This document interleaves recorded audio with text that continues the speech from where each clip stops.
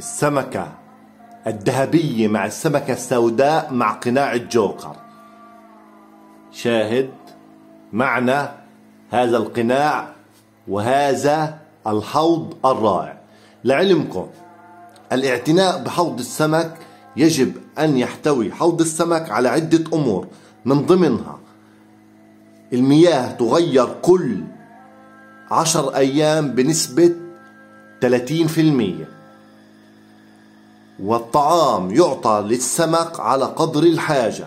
بمعنى كل ثلاثة أيام أو كل يومين أو يوم بعد يوم ولكن لا يعطى كل يوم بكميات كبيرة. يعطى بكميات معينة يعني بمعنى إنه يكون على قدر حاجة السمك ولكن يجب نحط ببالنا عدة أمور من ضمنها تشغيل الأكسجين 24 ساعة على السمك.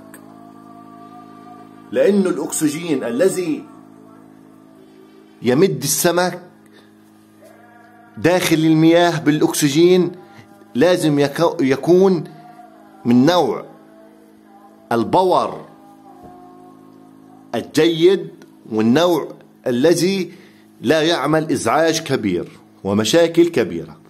هذا وبارك الله فيكم.